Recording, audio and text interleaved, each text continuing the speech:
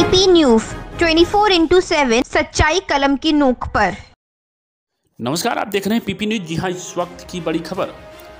गोपालपुर विधानसभा क्षेत्र में मतदाताओं में दिखा गजब का उत्साह। बताते चले गोपालपुर विधानसभा क्षेत्र में सातवें चरण, यानी अंतिम चरण के चुनाव की वोटिंग लगातार जारी है। सुबह 12 बजे तक गोपालपुर विधानसभा में लगभग 40 परसेंट वोटिंग हो चुकी है।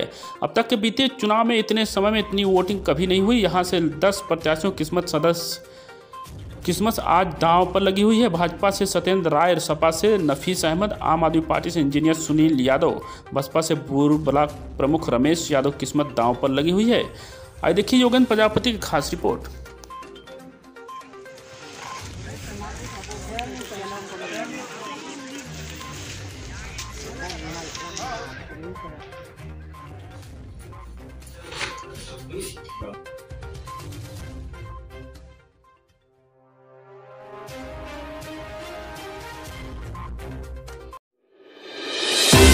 राजनीतिक, सामाजिक सरोकार से भरपूर।